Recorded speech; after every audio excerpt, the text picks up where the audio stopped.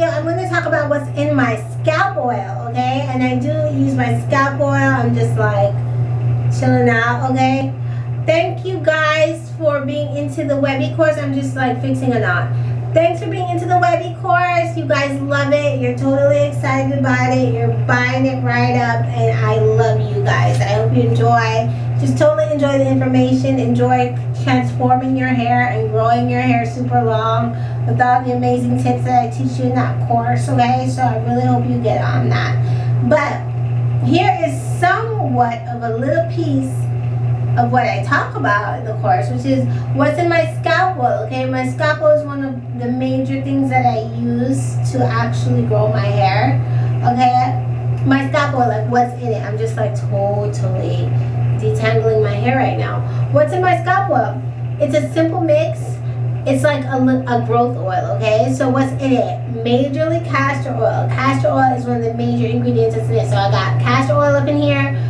And then I like to use like as far as the brand names of things.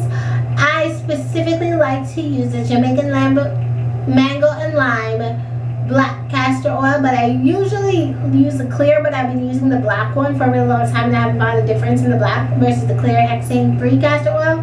So either one doesn't matter, but this is really nice. I like the black castor oil, Jamaican black, mango and lime, and this is the lemongrass flavor. I actually hate the lemongrass flavor.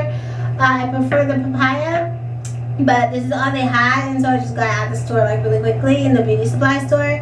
I do not like the lemongrass, but it's not the end of the world, okay? So what's this is the main ingredient in my hair growth oil, my Jamaican black castor oil, and then I have my extra virgin olive oil, does not matter what brand. I put extra virgin olive oil on top of that.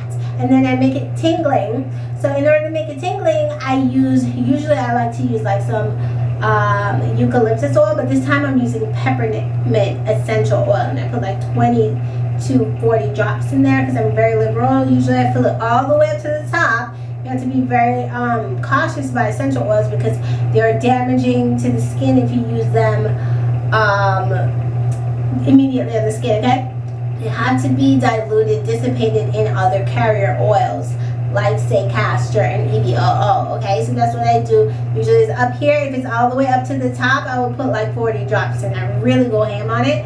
If it's like in the middle, I'll just put like 10 to 20 drops in there, okay? So dilute it. There's a ratio and stuff like that, okay? This is a peppermint. So I normally use eucalyptus as the peppermint oil and I really love the peppermint oil. It's very luscious, effervescent, and tingling. And the tingling is what encourages hair growth. I usually also like to mix rosemary essential oil in there. But this time I didn't have any rosemary, so I didn't put any rosemary essential oil because I use all my rosemary essential oil. So I usually combine rosemary essential oil because it's good for hair growth and eucalyptus essential oil. But this time I'm just using the peppermint essential oil. Do you know they also have the castor oil that comes in the rosemary brand, so you don't really have to worry about it too much. I like to buy the rosemary, but the papaya is definitely my favorite. Okay, so I use this. I put. I like to wet my scalp before I put this on because it's more moisturizing that way. People don't talk about that.